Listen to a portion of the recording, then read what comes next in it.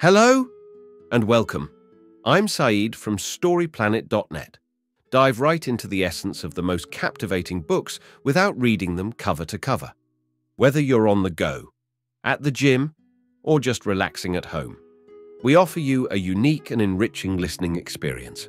Today, we are exploring the book How to Smell a Rat, a creation by Ken Fisher and Lara Hoffmans how to Smell a Rat equips you with the tools to steer clear of financial fraud and lists the favorite tricks of notorious fraudsters. Before we delve into these revelations, it's interesting to note that Ken Fisher is the founder and leader of Fisher Investments, a global financial firm. He wrote bestsellers such as The Only Three Questions That Count and The Ten Roads to Riches, and has authored the popular Forbes Portfolio Strategy column for 25 years. Lara Hoffmans, who works with Fisher, co-authored his books and manages content for Fisher Investments along with contributing to MarketMinder.com. The text, How to Smell a Rat, is copyrighted by Kenneth Fisher and Lara Hoffmans in 2009 by John Wiley & Sons. Permission is required to share the text with unauthorized parties.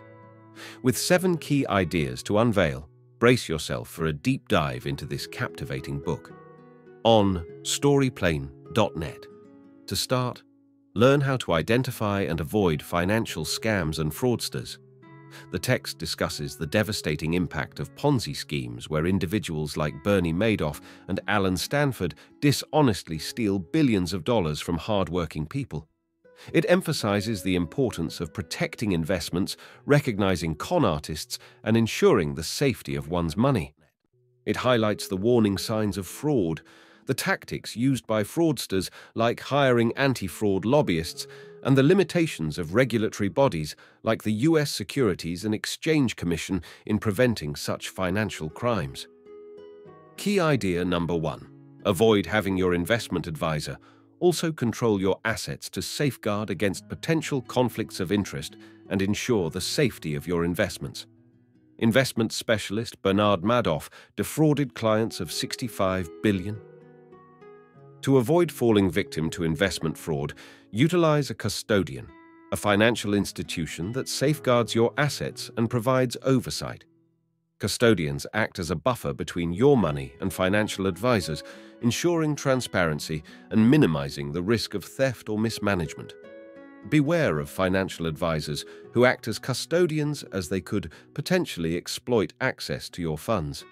Trusting a custodian provides security and peace of mind in your investments. Key idea number two. Be cautious if an investment advisor consistently has high investment returns. Be cautious of money managers promising exceptionally high returns, as it is uncommon to consistently beat the market by a large margin. Most markets are volatile, and extremes in returns are more common. Even successful investors like Warren Buffett have periods of underperformance, so beware of overly consistent track records. Key idea number three.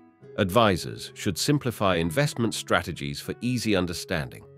Investment jargon can be confusing for beginners, but it's crucial to understand any strategy before investing. If your financial advisor uses complex jargon without clear explanations, it may be a red flag. Differentiate between tactics, tools, and strategy, plan in investing. Don't fall for flashy tactics disguised as a real strategy. Ensure you comprehend the investment plan fully before committing funds. Key idea number four, caution against flashy displays or exclusivity. Bernie Madoff's funds were promoted as exclusive, requiring introduction by a trusted source to invest. Exclusivity alone is not a reliable indicator of an advisor's credibility. Gimmicks like catering to an elite clientele or extravagant displays may serve as distractions. Legitimate reasons for exclusivity could include strategy, efficiency based on investment thresholds but should be explained to clients.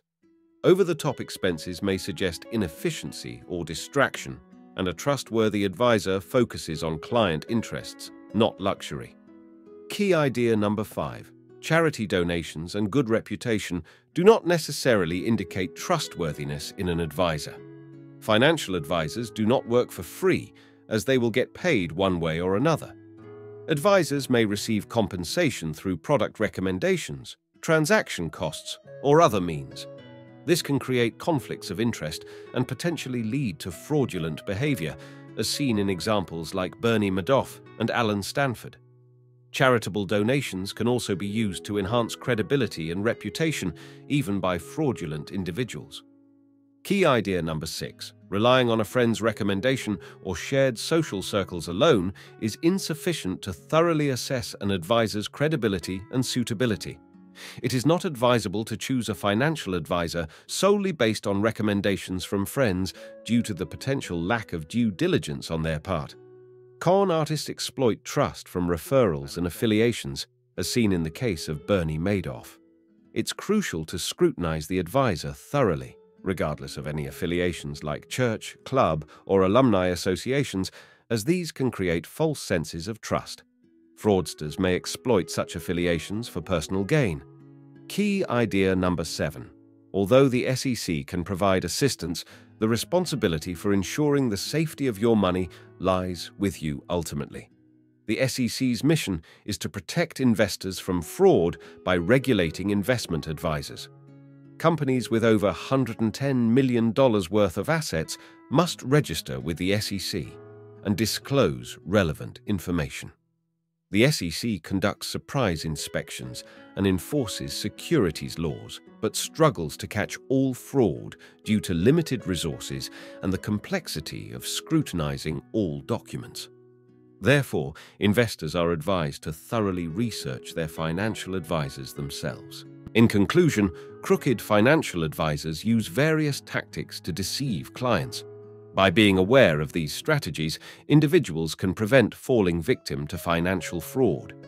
Further recommended reading is The Big Short by Michael Lewis, which examines the causes of a major financial crash and how certain individuals were able to profit from it.